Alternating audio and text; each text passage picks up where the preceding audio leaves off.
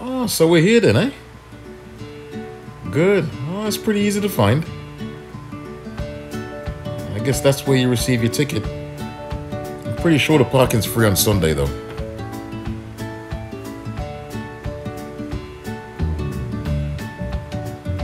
I think it's straight down to the very end, and uh, I think we'll make a left.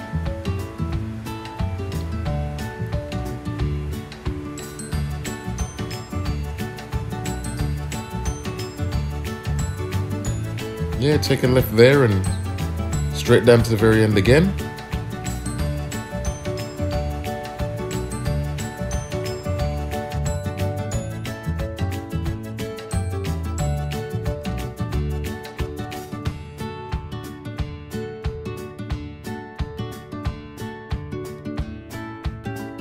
That's not too bad at all to find.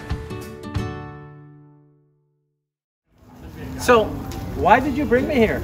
What, what, what's this place? You haven't heard? No, no, what? What's happening? This Sunday, Okay. the Ottawa Church of Christ, Yes. that's you and I, Uh huh.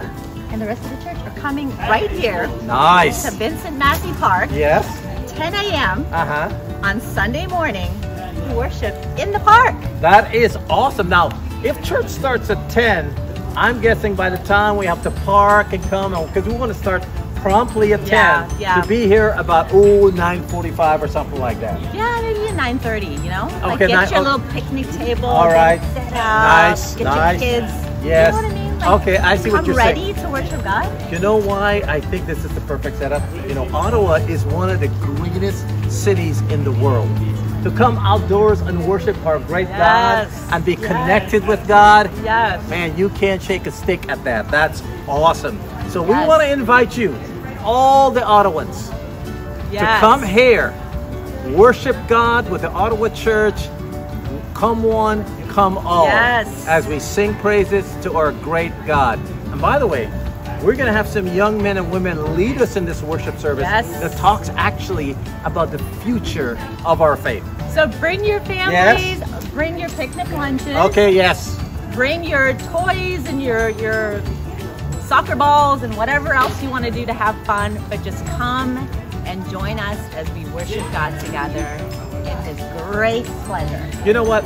Now that you mentioned that, I think what we should do, we should bring some stuff for people. Like, Okay. we'll bring some water, Sounds good to me. we'll bring some fruit, like some watermelon. ah, like me some and we'll, watermelon. we'll actually bring some charcoal so that people all they'll have to bring is their own sandwiches and even some meat but we'll bring the charcoal and get everything all ready so not only are we going to be fellowshipping with our lord we're going to be fellowshipping Nice. with one another and especially since after the 16th it's going to open up a lot more come one come all nice. I like it.